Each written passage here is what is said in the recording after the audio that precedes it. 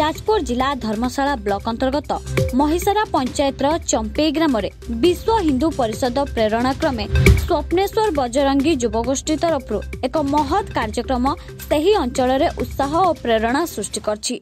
Corona ଭଳି ମହାମାରୀ ସଂକ୍ରମଣ ସାଙ୍ଗକୁ ଡେଙ୍ଗୁ ମ୍ୟାଲେରିଆ ପ୍ରକୋପରୁ ସମାଜକୁ ରକ୍ଷା କରିବା ପାଇଁ ମାନ୍ୟବର ପ୍ରଧାନମନ୍ତ୍ରୀଙ୍କ ସ୍ୱଚ୍ଛ ଭାରତ ମିଶନ ଅଭିଯାନରେ ସାମିଲ ହୋଇଛନ୍ତି ଏହି ଯୁବଗୋଷ୍ଠୀ।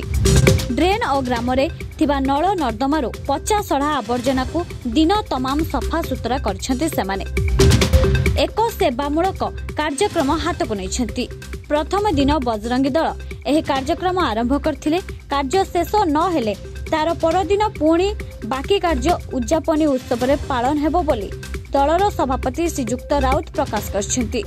ଏହିଭଳି ସେବାମୂଳକ ସାଧୁ ଉଦ୍ୟମ ପାଇଁ ବିଭିନ୍ନ ମହଲରୁ ଅଶେଷ ଅଶେଷ ଧନ୍ୟବାଦ ଓ କୃତଜ୍ଞତା ଜଣାଇଛନ୍ତି। ଧର୍ମଶାଳାରୁ ଦେବସ୍ମିତା ସାହୁଙ୍କ report Odisha voice twenty four